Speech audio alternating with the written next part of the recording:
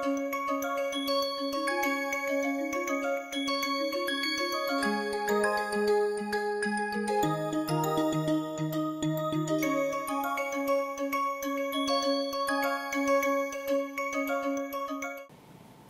and welcome.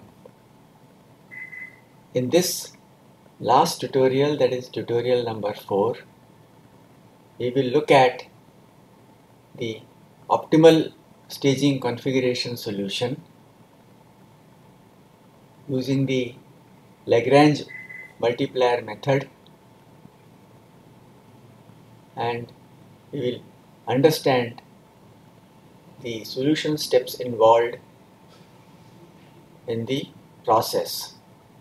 So let us begin. Let us begin our discussion with the simplified problem of equal stages. So in this case, let us consider a two-stage sounding rocket which has the structural ratio for both the stages as 0.2. Let us try and determine the optimal stage payload ratios that is pi's and the liftoff mass m naught for an m star or the payload of 20 kg if the ideal burnout velocity required in this case is 6000 meters per second and it is burning a propellant of ISP equal to 200 seconds. So let us start the solution. So we first calculate the parameter beta which is nothing but V star divided by N G naught ISP where V star is the desired velocity, N are the number of stages and ISP are the specific impulses. So when we substitute these, we get beta as 1.5290. Here you must keep in mind the fact that as we are going to use exponential functions, the number of significant digits have to be sufficient in order for us to capture the accuracy from such manipulations otherwise we may get an erroneous solution. So in this case we have gone up to 4 decimal place and then we calculate the stage payload ratio that is pi 1 and pi 2 as e to the power minus beta minus epsilon divided by 1 minus epsilon. In the present case the epsilon is 0.2 and when we perform this calculation we find that the two stage payload ratios are 0.0209 fairly small value. Next we talk about the mission payload fraction pi star which is nothing but the stage payload ratio raised to the power n where n is number of stages. So in this case as there are two stages we get 0.0209 square which is 0.00044 and from this using the payload requirement of 20 kg we find that the lift off mass is 45,610 kg or 45.6 tons. What it means is that our payload efficiency in this case is very small. So just to launch a 20 kg payload, we are going to require a 45 tons rocket. Let us now look at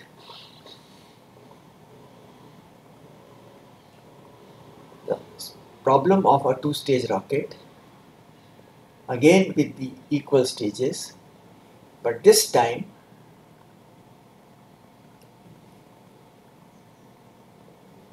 we use the payload as the constraint saying that that payload is very small. Let us try and find out what is the burnout velocity that we can get. But and also we have this time increase the ISP from 200 to 350 so we have improved the structure from 0.2 to 0.1 so it has become more efficient. It can carry more propellant. And we have improved the ISP from 200 to 350 and we also have a requirement of a significantly higher payload ratio of 0.1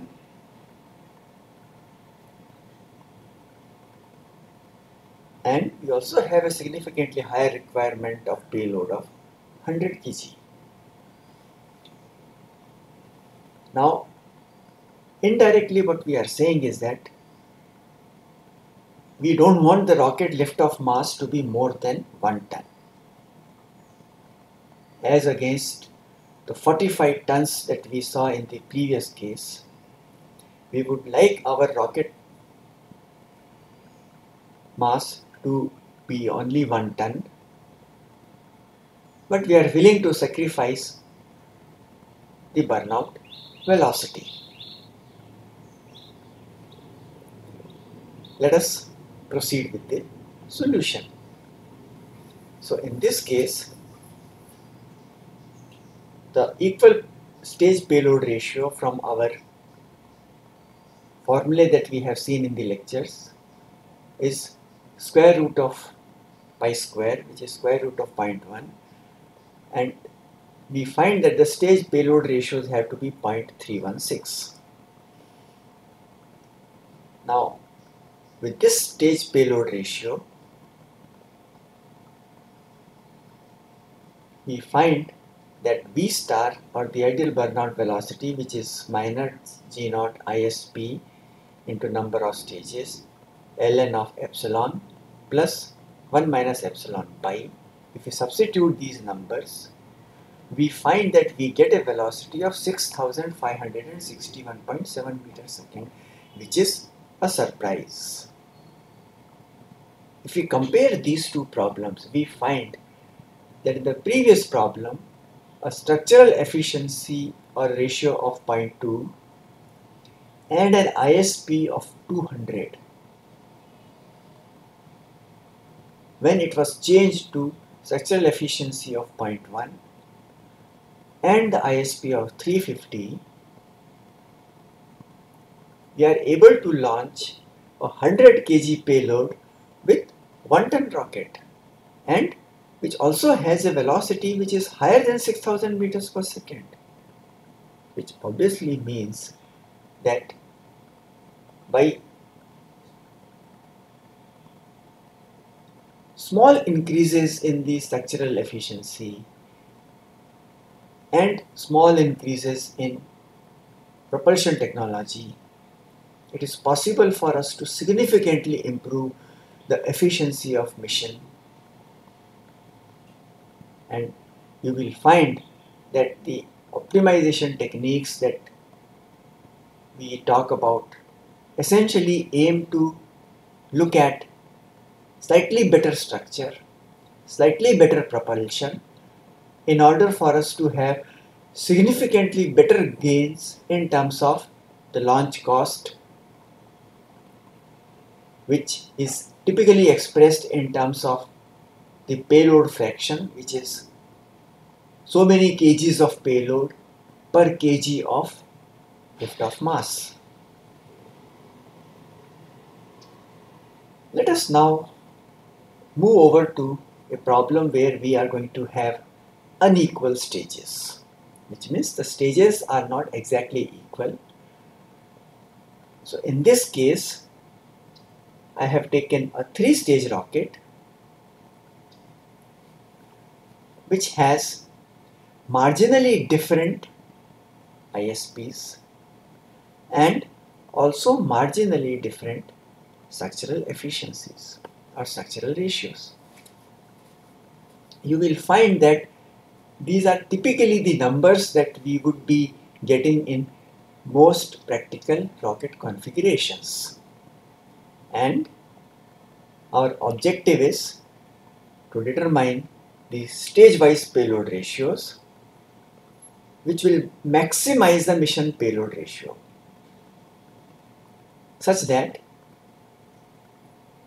a 122 kg payload is given a velocity of 7800 meters per second. In this context, it might be worth noting that the velocity which is specified in this problem corresponds to the spacecraft forming a circular orbit at 200 kilometer altitude. So this is how the spacecraft mission requirements would appear in the form of rocket configuration design. Let us proceed with the solution. So first let us look at the basic formulation. So let us recall the solution for the stage payload ratio in the present case which is minus epsilon i divided by 1 minus epsilon i into 1 plus lambda g naught ispi where lambda is the Lagrange multiplier. And using the parameters that have been specified in the previous slide let us now write down pi 1 pi 2 and pi 3 in terms of lambda so pi 1 is minus 0.142 divided by 0.856 into 1 plus 2658.5 into lambda which is nothing but this is the G naught ISP. Similarly for pi 2 we get minus 0.157 divided by 0.843 into 1 plus 2580 lambda and pi 3 is minus 0.134 by 0.866 into 1 plus 2589.8 lambda. Now the next step is to bring in the velocity constraint relation. So here I suggest that you go and look up in the lecture the velocity constraint relation which is given as V star equal to minus G naught sum over ISPI into ln of epsilon i lambda g naught ispi divided by 1 plus lambda g naught ispi. This is the expression that you can verify from the lecture. What we do is we substitute the applicable parameters into that expression and we do one more step. We divide the left hand side that is the velocity with minus g naught and also divide by the ISP1 that is 271. So if we do that on the left hand side we are going to get minus 2.937 and then on the right hand side what we are going to get will be the ratios of the two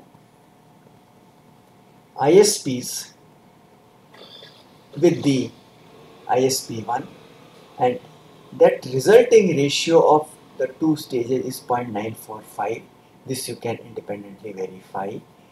And then of course we have epsilon 1 g naught ISP1 epsilon 2 g naught ISP2 and epsilon 3 g naught ISP3 as the numerator and 1 plus G naught ISP lambda for first stage 1 plus G naught ISP 2 lambda and 1 plus G naught ISP 3 lambda. So this is now the constraint relation that we must first solve to generate the value of the Lagrange multiplier lambda. Let us now look at how we are going to get this. So what we do is, first of all, we remove the natural logarithm from right hand side by taking the exponential on the left hand side that gives us 0.0532 and then of course we perform all those multiplications so we start getting large numbers. Here again I must emphasize the need to retain all the significant digits because as large numbers are involved any truncation of number here is going to lead to large errors. So you see that when we expand the denominator,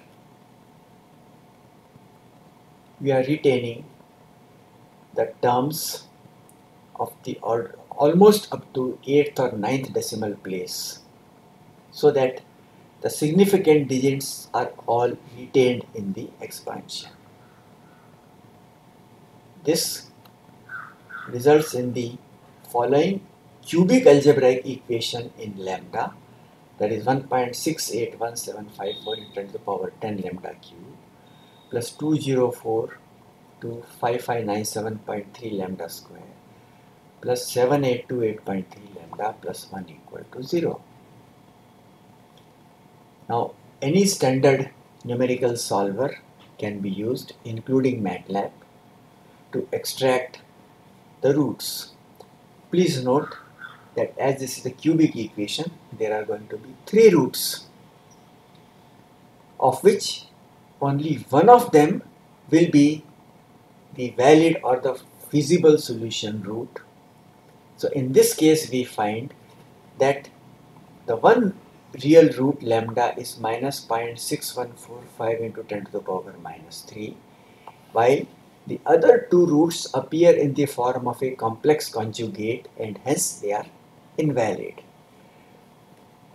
What we now do is take this value of lambda and go back to these three expressions of pi 1, pi 2 and pi 3. Now you can clearly see that lambda is a negative quantity. So when you multiply this you are going to get a minus number which is greater than 1 that can be confirmed. So this denominator will become negative.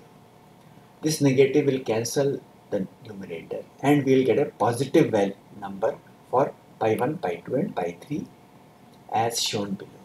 So pi 1 turns out to be 0.262, pi 2 turns out to be 0.318 and pi 3 turns out to be 0.262. We multiply all these three to get pi star which is 0.0218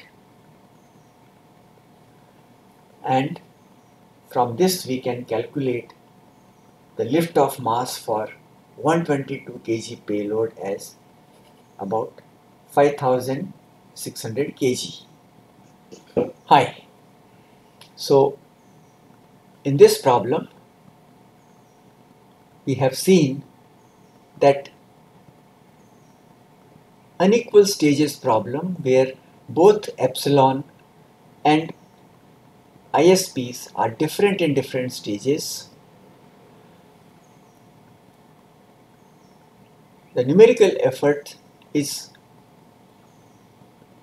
primarily in setting up the equation for the Lagrange multiplier lambda and you will find that the order of that equation will be equal to the number of stages and that setting up that problem and numerical solution will require some effort which is significantly larger than when we have equal stages. Now I will make a suggestion to all of you. Take problem number 3 the way we have defined. And